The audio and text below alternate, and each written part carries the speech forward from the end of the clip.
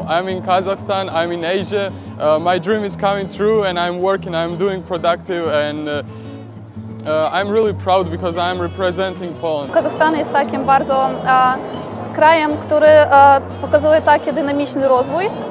Najbardziej mi się podobają ludzie. Są bardzo przyjemni, bardzo mili, przede wszystkim w stosunku do e, obcokrajowców. E, dziewczyny są bardzo pięknie. E, nawiązanie różnych kontaktów, to jest wszystko bardzo korzystne dla przyszłości na przykład i można e, dużo wziąć z tego, co mamy teraz, z tej praktyki. Astana jest takim e, naprawdę nowoczesnym e, miastem. Byliśmy tu, e, jak był Dzień Polaka w Kazachstanie. Byliśmy w Astana Ballet. Bardzo się podoba język kazachski i właśnie moim ulubionym słowem jest rahmet i to jest e, dziękuję. Atmosfera super, super, super.